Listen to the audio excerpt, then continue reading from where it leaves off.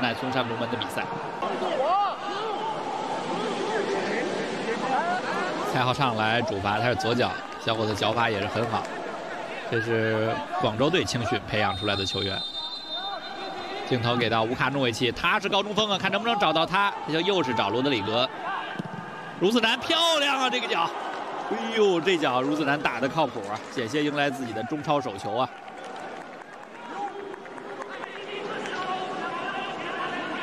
米兰科斯蒂奇，你看后边坐着的球队的总经理曹阳，压的还可以，这下高的真不多呀，这球，哎呦，擦着横梁出去。所以上半场比赛把他顶到中锋这个位置上，我个人是觉得并不是非常合适。先看打反击了，卡兰加来了，绝对的速度优势，卡兰加，卡兰加，卡兰加左脚，卡兰加完成了攻门，一比零。这就是卡兰加，给他一次机会就得分了。卡兰加的个人能力太强了，这球长驱直入，接后场的一个长传球，就是靠速度拼过你两个中卫。然后最后这脚打门呢，应该说打的质量呢也是极高，左脚。这是他这赛季的第九个联赛进球了。我们看这球，钟义浩的长传球，这球啊就是拼个人能力了。杜加利奇追不上了，而这脚打的是真好啊，还用的是左脚。卡兰加这赛季的就停了一下，右脚停了一下，调整了一下之后，左脚打上脚。这赛季的第九个联赛进球，卡兰加，卡兰加拉边了，有没有越位？没有。停回来，中路三个点，看卡兰加怎么选择，直接传，后点的机会，阿德里安停的不错，阿德里安，阿德里安二比零，卡兰加的助攻，阿德里安这脚射门是不是还有一个变线的折射？又是一波经典的反击，这个反击呢就两个人，阿德里安先转给边路的卡兰加，卡兰加下底之后呢，再传回来，阿德里安接球之后完成了一脚爆射，这球侯宇不走运就没办法，弹了一下，这球确实难为他了，但是我看这球就第一下是否越位呢？可能要看一下，看他最后谁碰的？啊，孺子南碰到了。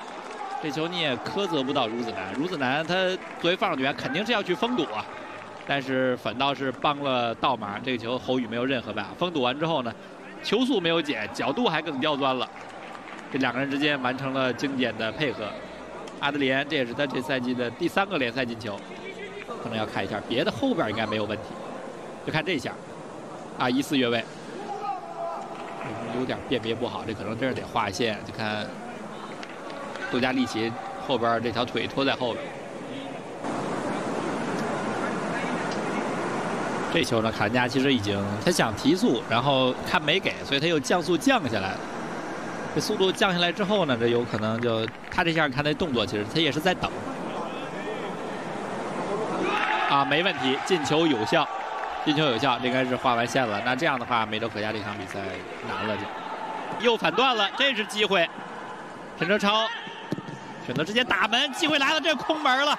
尹洪博帮助球队扳回一球，替补登场的尹洪博，这个球呢，应该说尹洪博向前的插上的，正好跑到了这个点，感觉陈哲超这球有点四传四射的意思。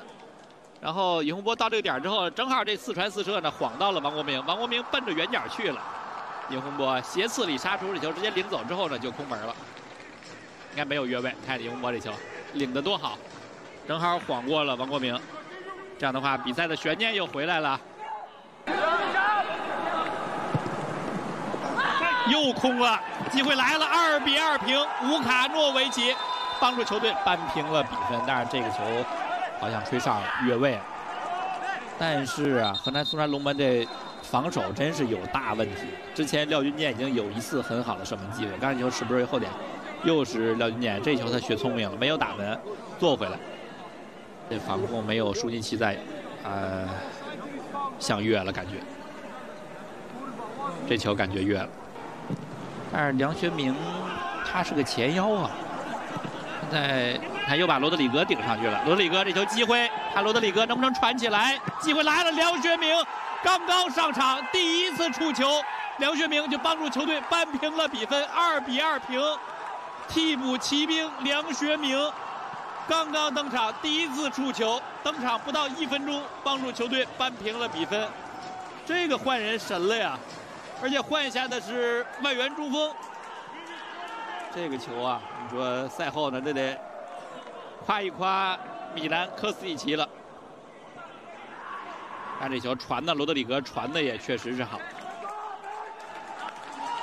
杨学明这上场之后真的是第一次出球啊，而且这收获了他的第一个本赛季第一个联赛进球。这场比赛刚好是他这赛季的第四次登场。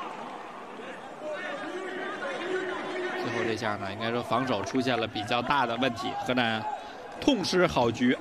看陈哲超下来了，能不能传好？陈哲超传回来，哎呦，没踢上，后点还有机会。如子男，孺子男中超首球，帮助球队绝杀了比赛。零比二落后的情况下，完成了三比二的神奇大逆转，绝杀。